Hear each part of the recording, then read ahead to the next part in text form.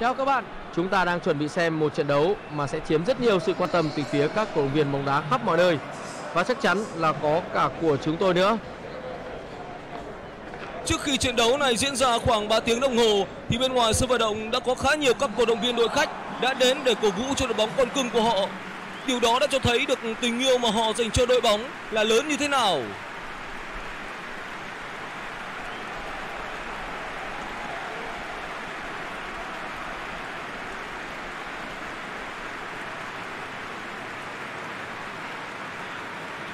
Và đây là đội hình xuất phát của cả hai đội trong trận đấu ngày hôm nay. Khi mà các huấn luyện viên lão làng của hai câu lạc bộ đã hiểu rất rõ về đối thủ của mình, thì việc sử dụng linh hoạt các chiến thuật sẽ là những nước cờ mang tính quyết định số phận của trận đấu.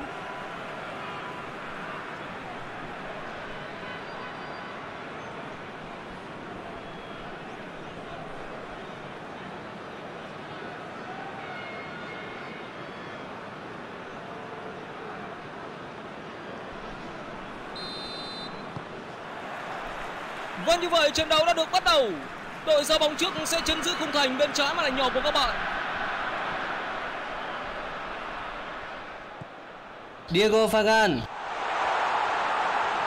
Cơ hội dứt điểm. Không vào.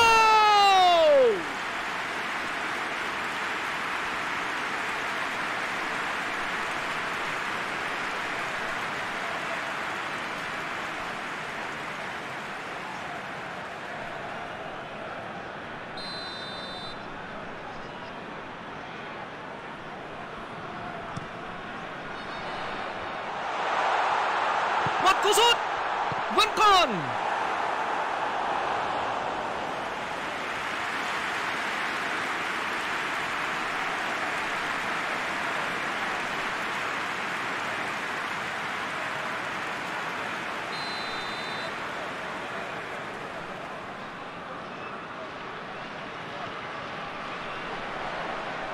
Chạm bóng rất nhẹ nhàng. Nguy hiểm, mặt cú sút. Với một thế trận cởi mở như thế này thì việc có nhiều bàn thắng là một điều dễ hiểu nếu các cầu thủ biết tận dụng tốt những cơ hội của mình.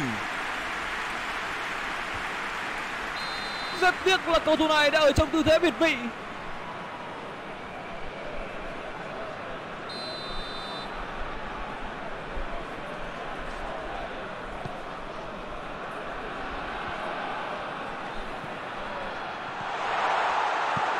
Và giải nguy rất đúng lúc.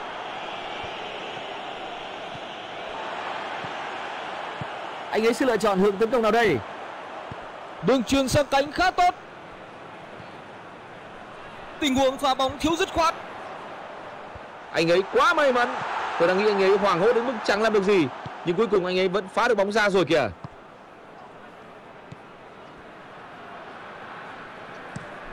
Đi bóng rất sung anh. Ý đồ quá lộ liễu. Hải Huy. Bóng vẫn nằm trong tầm kiểm soát của đối phương. Bắt bài rất hay.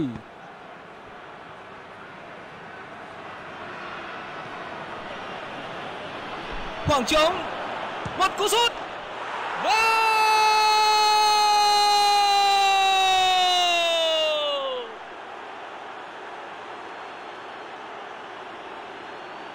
Cuối cùng thì bàn thắng cũng đã đến. Sau rất nhiều những cố gắng thì họ đã có được thứ mà mình muốn. Đó là một pha tấn công rất mẫu mực.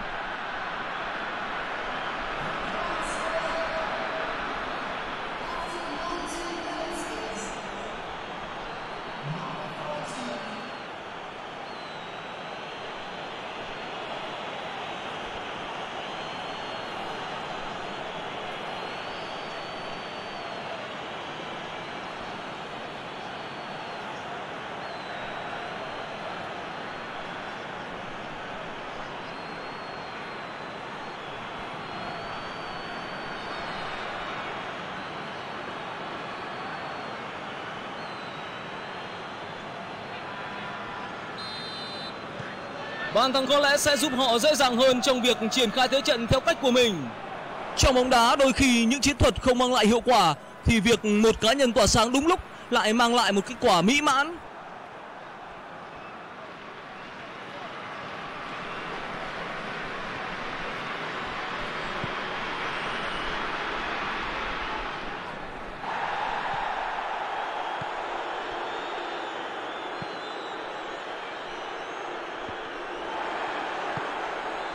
Mà không quân.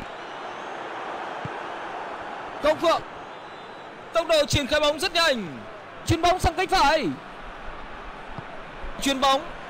Tình huống nguy hiểm.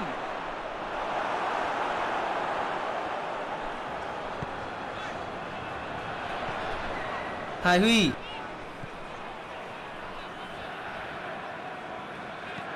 Có lẽ cần một pha xử lý táo bạo. Sóng gió đã qua cho cầu môn. Và thế là họ đã làm mất bóng. Cơ hội tấn công. Lê Văn Sơn. Vẫn tiếp tục đi bóng. Vẫn tiếp tục đi bóng. Tiếp tục đi bóng. Mà không quân. Một cú sút.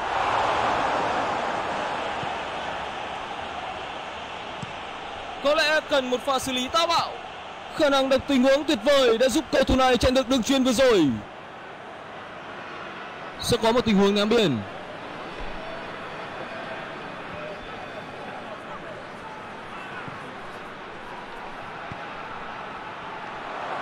Cơ hội. Pha bỏ lỡ rất đáng tiếc. Thiếu chút nữa thì hàng phòng ngự phải trả giá đắt khi cầu thủ này có được khoảng trống và tung ra cú dứt điểm rất nguy hiểm.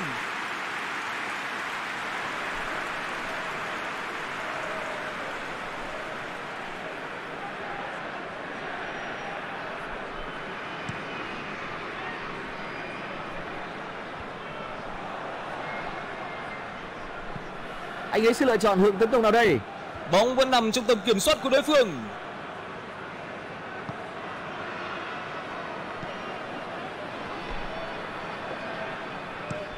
Triển khai tấn công.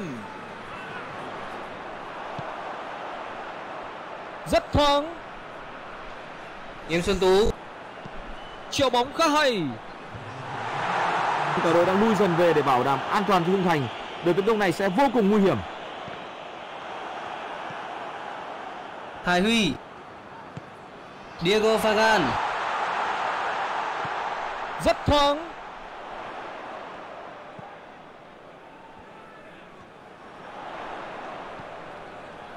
Hải Huy.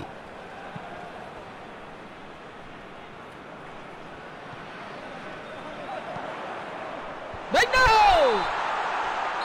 Và như vậy hiệp 1 đã khép lại. Chúng ta hãy cùng chờ đợi những sự thay đổi sau 15 phút giờ nghỉ giữa hai hiệp. Tỷ số trận đấu là 1-0 và có lẽ trận đấu sẽ được đẩy lên với nhịp độ cao hơn rất nhiều. Hiệp 2 đã bắt đầu và chúng ta hãy cùng hy vọng sẽ có những thay đổi về chiến thuật cũng như lối chơi của hai đội sau giờ nghỉ.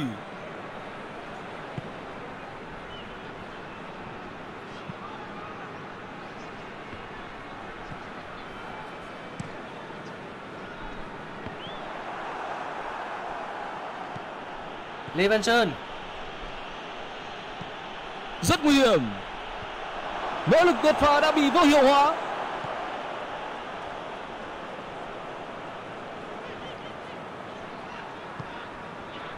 Diego Fagan. Hải Huy. đi bóng rất sung anh đã có một tình huống việt vị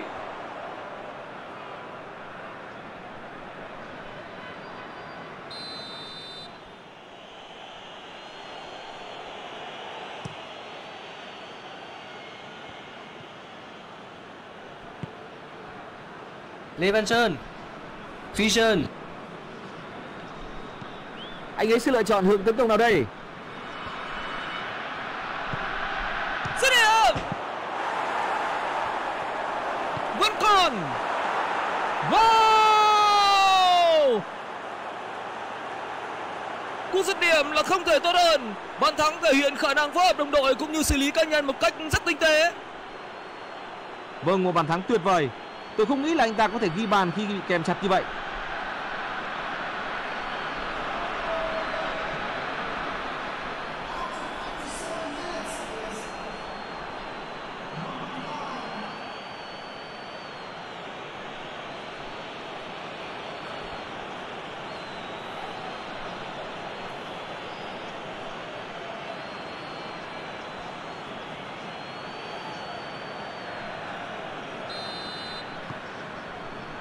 Cần phải có những đường truyền mang tính đột biến để phá vỡ thế trận bế tắc như thế này. Vẫn tiếp tục đi bóng.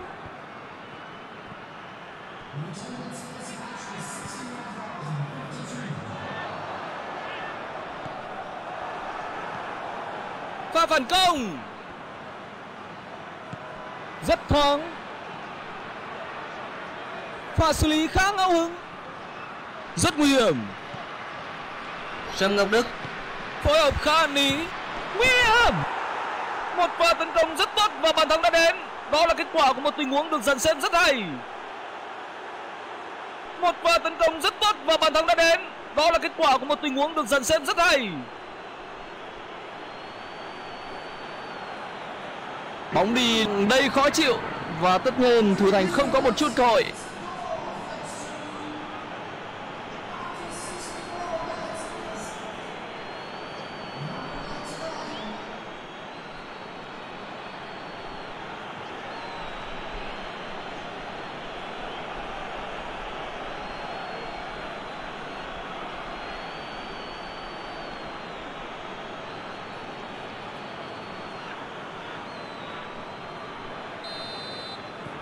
Cách biệt đã được nâng lên thành 3 bàn rồi và có lẽ chiến thắng gần như sẽ nằm trong tay của họ. Khi mà mùa giải đã đi tới giai đoạn quyết liệt thì việc thiếu vắng một số những trụ cột sẽ dẫn đến những hệ lụy nhất định cho toàn đội. Việc huấn luyện viên sử dụng xoay tua một cách linh hoạt các cầu thủ dự bị sẽ có quyết định không nhỏ tới thành công của đội bóng.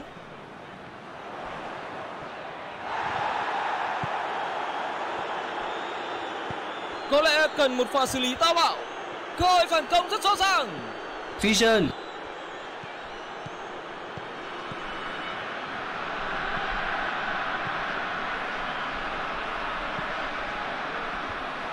Cắt bóng rất dễ dàng. Sức dưỡng tuyệt vời. Lê Văn Sơn. Hoàng Thịnh. Dứt điểm đi.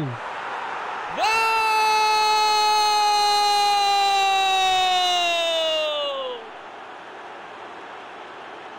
Một bàn thắng tuyệt vời. Pha xử lý cá nhân rất tốt.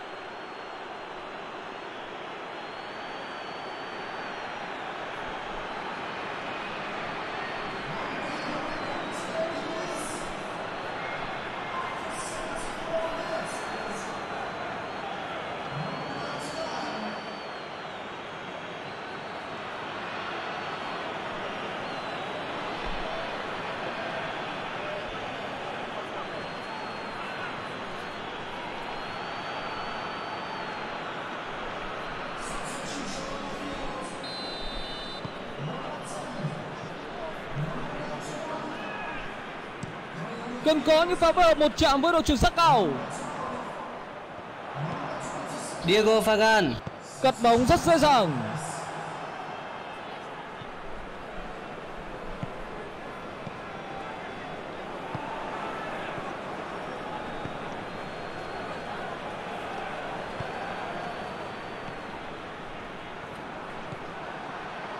Cơ hội tấn công. Huy Toàn. Đường truyền rất sáng tạo. Tình huống nguy hiểm. Đồng đội ở phía trên đang có vị trí rất thuận lợi. Tô Văn Thuận. Vẫn tiếp tục đi bóng. Huy Toàn. Đánh đầu. Không thành công. Rất nhiều những tình huống nguy hiểm đã được tạo ra trong những phút vừa qua.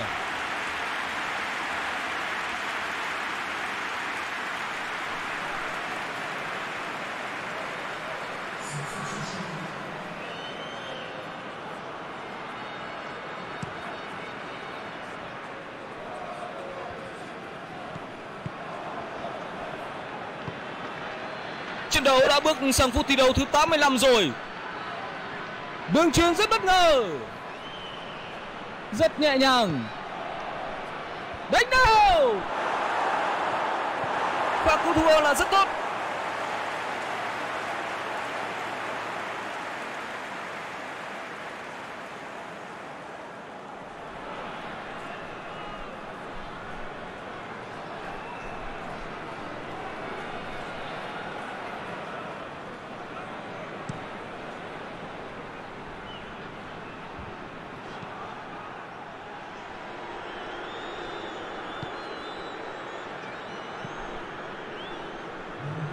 Khoảng trống.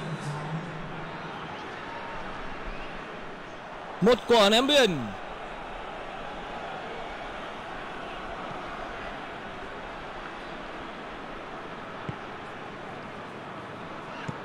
Anh ấy sẽ lựa chọn hướng tấn công nào đây? Bật bài rất hay. Ý đồ khá tốt. Và như vậy là trận đấu đã kết thúc